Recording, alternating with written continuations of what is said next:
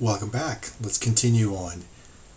So, I now want to actually do, I actually want to use uh, a command. Um, and here's what I'm going to do. I know that if we do a search, so I know that I need to do something where I want to introduce a delay. So let's go Elm packages and let's just search for delay. By the way, there may be there may be a built-in way to do this.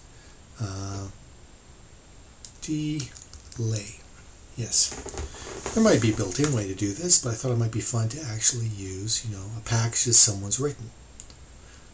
So, let's go over here. The name of the package is Elm Delay by Mr. Andrew MacMurray. Fact, I'm going to go back just so I can copy that again. So let's go delay, delay. Right, that's the key thing I want to copy to my clipboard. I want to import his package into my project.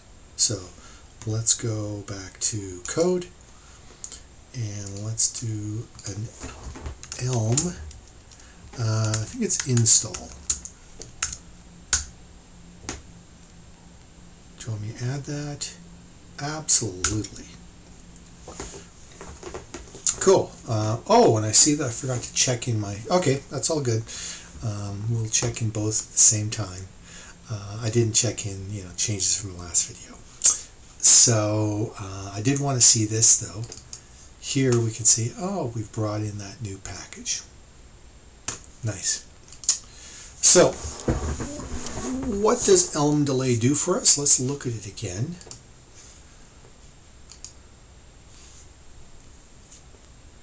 Means that we can create a command, something like this. A command that says, hey, after waiting 500 milliseconds, send this message. That's kind of what we want to do. So let's go back to our, uh, let's go back to Visual Studio. And here's what I'm going to do. I'm going to say, let's start off with populating this with nothing. So we're going to initially have an empty model. So, and just for completeness, uh, let's do a make on this and just confirm that, yeah, we get nothing back. I know it's not too exciting, but baby steps. Right, so it's initially empty. Good. Now, um, our initial model is this, and the initial command that we want to do, kind of our starting point here, so we can pass in an initial command. Um, so let's do that. Let's say delay dot, and it's after and we'll say 3000 because we want to make it really obvious. It's going to stick around for three seconds. And then we're going to send uh, a new message. So let's call this message. I think we're not using this yet. Um, let's call it um, show loaded data. Show populated. That works for me.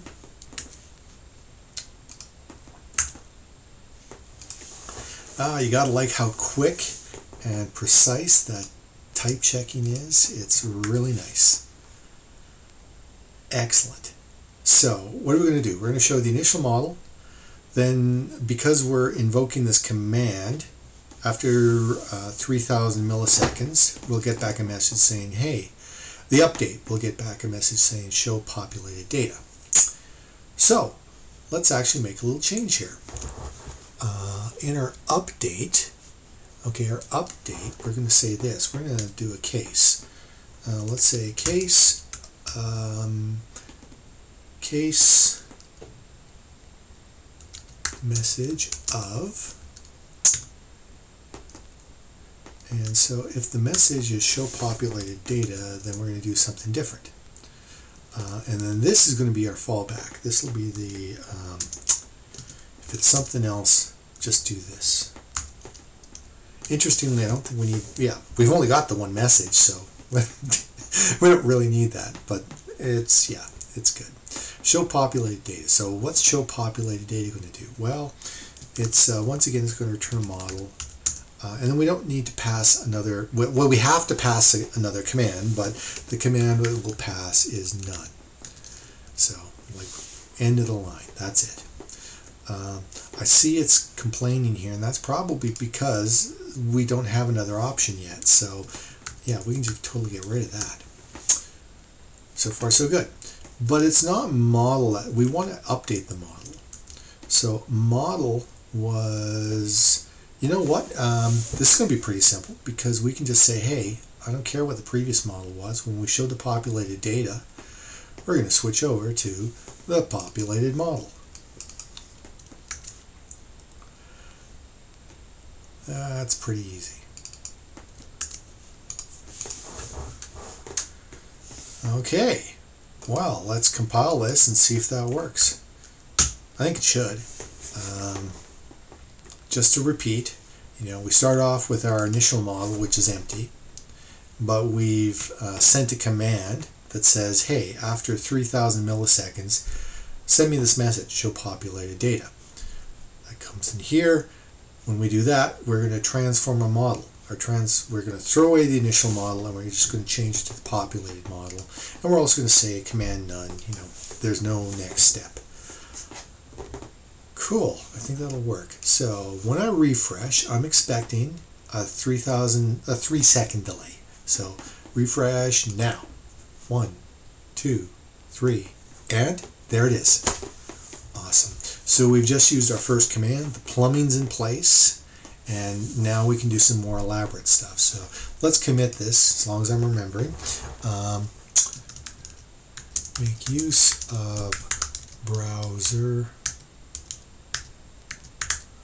dot element and a simple command.